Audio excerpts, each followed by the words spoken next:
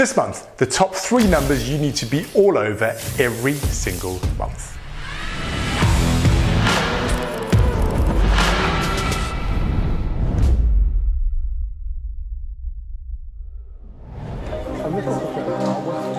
Through the noise. I want to give you the three numbers that I believe you should be focused on each month in order to really understand if your business is performing in line with your expectations and if there is any trouble on the horizon. So let's get started. First number is your cash gap. Now, if you don't understand what your cash gap is, check out episode 66. But essentially, your cash gap helps you understand if your working capital cycle is working the way that it needs to be. And if your business is growing and you have slippage on your working capital cycle, and that cash gap gets bigger and bigger and bigger, you are going to have a very, very painful time when it comes to cash. You have to be able to manage your cash position really well. You need to be focused on it, and your cash gap is a really good holistic number to help you understand if your debtors days, creditors days, stock days, and work in progress days are slipping.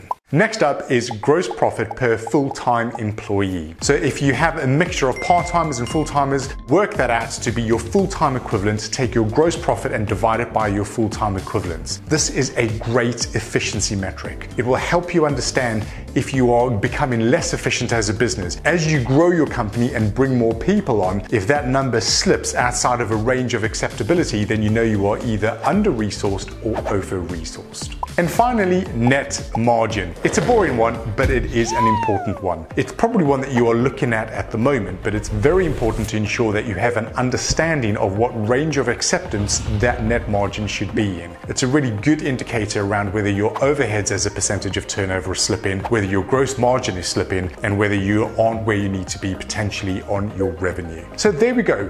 Three simple numbers that should give you an overall picture of how your business is performing. Cash wise, efficiency wise, and profitability wise. Catch you next time on Mind Your Own Business.